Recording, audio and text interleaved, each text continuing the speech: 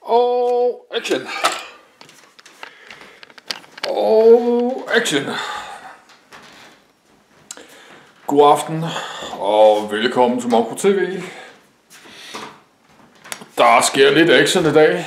Øh, der bankede simpelthen 50.000 kroner ind på min øh, bankkonto her i morges.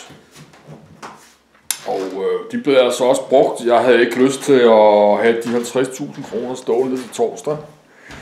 Jeg havde lavet fire overførsler. Og jeg tænker, nej, ved du hvad, jeg, nu overfører jeg altså de penge lige med det samme. Der er altså lang tid til torsdag morgen. Der må simpelthen ikke ske noget galt nu, for det har jeg altså ikke råd til at beholde. Den eneste måde, jeg kan beholde øh, alle de mange dejlige 50.000, det var, Ja, det er jo til 1516 kroner ekstra afdrag. Det var simpelthen at, øh, at få sat så mange penge ind på min kasse, sat 30.000 ind på min kasse, det er nok til, øh, til 1500 mindre. Det dækker allerede mit afdrag på det lån. Men øh, så var der 20.000 kroner tilbage, men mit afdrag var allerede for højt. Det var 5.600, så...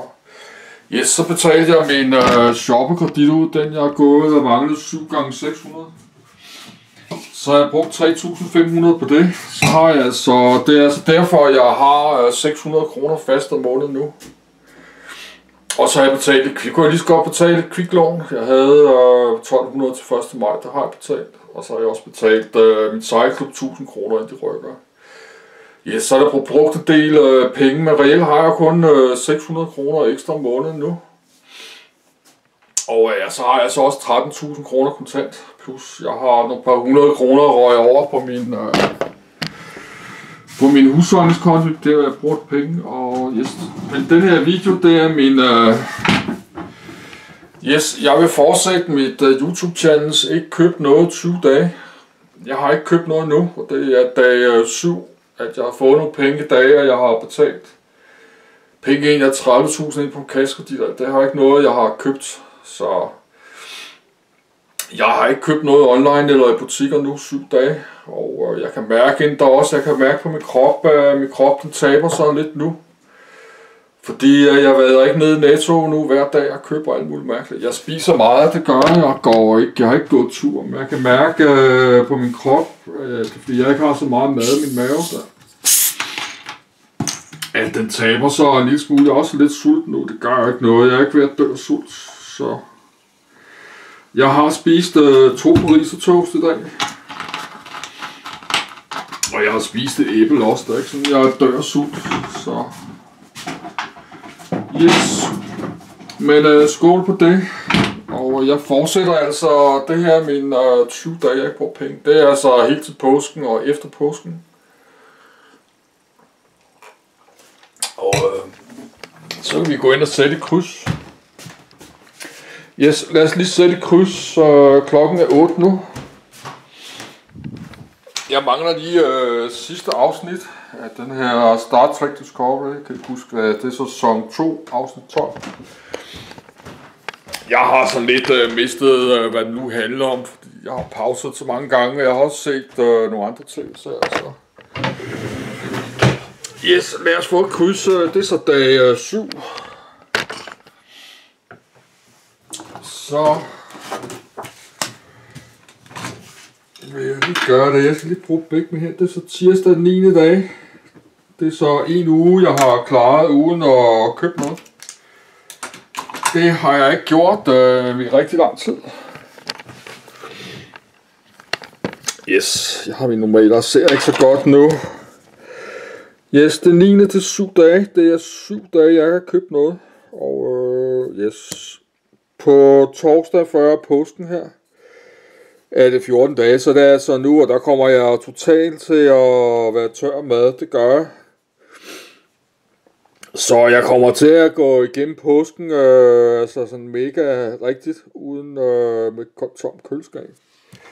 Men jeg har jo altså 10 medisterpølser, jeg har altså pålæg nok til resten af måneden, og plus jeg kan også fortsætte ind i næste måned, så Yes, jeg kunne nok fortsætte øh, en uge ind i næste måned også. Jeg har altså meget ris og sådan Det har jeg ikke tænkt mig at gøre. Men øh, jeg tænkte på, at måske jeg kunne øh, fortsætte øh, til min YouTube-penge kommer den 25. Så, men det var altså med 20 dage. Jeg tror måske, jeg skulle bare stoppe her efter 20 dage.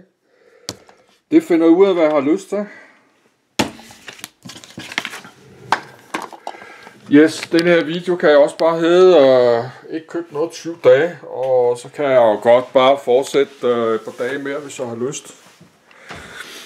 Jeg vil godt gøre det her igen, men næste gang er det 30 dage, og øh, så næste gang 40 dage og 50. Jeg vil ikke gøre det mere end øh, 50 dage, så er det altså for langt. Det er altså næsten to måneder. Så skal man altså, hvis man skal købe mad i to måneder, så skal jeg altså 10 gange ned i netto og sådan nogle ting. 20-30 dage kan jeg godt overskue, hvad jeg bruger på en måned. Jeg vil faktisk godt prøve, hvis jeg ikke kører nogen, så jeg synes nok ikke, at jeg skal købe en sejlbåd øh, nu i år, fordi jeg har altså stadig 5.000 øh, om måneden. Man kan ikke have en sejlbåd uden at have nogle øh, rigelige kontanter også. For det første skal man jo også gerne have bare 100 kroner, 1.500 om dagen til havnepenge. Det er altså 4.500. Hvis man bare sejler rundt, så skal man have 5.000 kroner alene bare til havnepenge. Og så skal der også penge til benzin og mad og muligt. Ja, hvis man bare sejler rundt og ikke er hjemme i sin øh, jævnhavn, så koster det øh, de der 1.500 døgner og lægge til i alle forskellige havne i Danmark i snit. Det kan man godt regne med 5.000 om måneden i havnepenge, og det er bare for at lægge til alt muligt sted. Der er selvfølgelig nogle steder, man kan ligge gratis, hvis man er oppe i en eller anden fjord eller et mærkeligt sted. Yes, skål på det. Jeg har lavet mig det at drop, jeg overgår ikke at lave mad i dag. Det her dag, så skal jeg bare have betalt de penge. Og i morgen vil jeg lave det her. Det er så min mad til onsdag og torsdag. Det bliver skræller de her de løg, så vil jeg koge øh, nogle ris med kaj. Det gør jeg så hver dag. Jeg laver en ordentlig bukke øh, ris. Og så det der, så gemmer jeg øh, halv, halvdelen af det til næste dag i sådan en plastikbeholder, så det er maden til øh, torsdag. Øh, på torsdag vil jeg tage to... Øh, jeg har sådan nogle hakkebøl. Jeg ved ikke, om det er svine eller oksekød. Men øh, dem her kan jeg ikke bruge som pålæg, så dem vil jeg lige spise ud. Jeg vil tage to nu op øh, på torsdag, så jeg laver det fredag. Og øh, ellers vil jeg bare tage en. Jeg trænger lige til nogle kød, så jeg laver simpelthen to hakkebøger på fredag.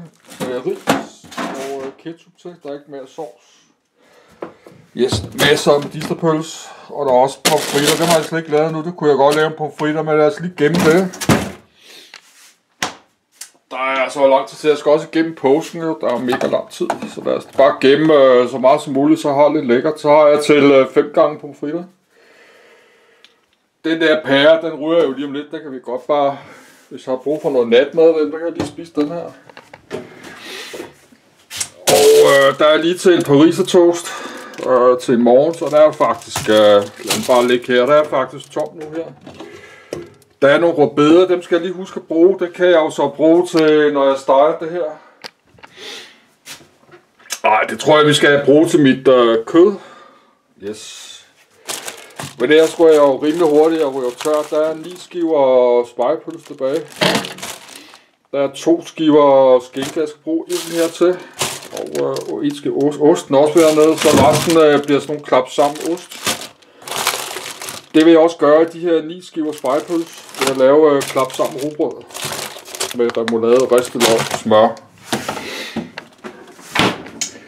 Og øh, jeg har altså også lidt tunpålæg. Jeg har sådan lidt, der er altså ikke så meget, men jeg har, så, som jeg siger, jeg har ikke fået, der er så seks pakker rugbrød her mere, så jeg skal nok, nok klare den øh, 10 dage nu. Nej, det er så 13 dage. Det skal nok gå og skål på det. Yes, jeg trænger til at lige stoppe op nu. Og selvom jeg har fået alle de penge nu, jeg fisser ikke øh, ud i byen, og jeg skal ikke ud og have nogle fadøl, og jeg skal ikke nogen steder, jeg skal ikke på Barken. Barken er ikke engang åben nu. Barken åbner vist 12. april, men jeg skal ikke nogen steder hen. Og jeg vil bare blive her og lige tænke mig om, hvad jeg gør. Det kan godt være, at jeg køber sådan en mærkelig sejlbåd, men ikke lige nu her i april. Der er så sne og kulde på vej. Det er så ikke forår nu rigtigt. Der er så lidt til frost øh, om natten, der ishammerne koldt. Så hvis man skal ligge og sove i en båd, så skal man nok vente til midt i maj. Eller i starten af på, hvor varmt det bliver. Men det kan godt være, at jeg køber lidt en mærkelig båd med det. Man skal altså også have en pointsmotor på den båd. Så man får altså ikke øh, en god sejlbåd til øh, 5.000 med en rigtig god pointsmotor, som bare virker. Sådan en øh, pointsmotor øh, koster 10.000 for nysen, 4 hestes. Og man kan godt købe sådan en brugt pointsmotor til, øh, til 2, 3, 4.000 kroner. Men så er der så også nogen, der er 15 år gammel, 20 år gammel. Så men det er klart, hvis jeg kun skal sejle rundt i Københavns Havn, så gør der ikke noget, at den går i stå. Men alligevel, det vil jeg tænke over, hvad jeg gør. Og øh, kort. Nej, ikke kort. Skål. Yes, lang video. Jeg vil uploade det her. Kan I have en god aften? Jeg bare gå i seng og se Netflix. Og kort.